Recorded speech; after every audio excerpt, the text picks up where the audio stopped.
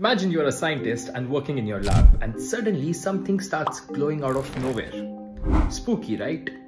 Well, this is exactly what happened to Wilhelm Röntgen in 1895. Weeks of eating, sleeping and practically living in his lab led him to uncover the secret behind the glow. And what did he find? A new kind of radiation. Now Röntgen, being a math geek, named this radiation the X-ray.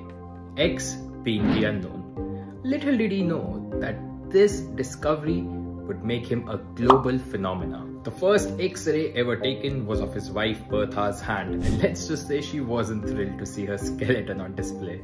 Within weeks, this ghostly image was in every newspaper and scientific journal.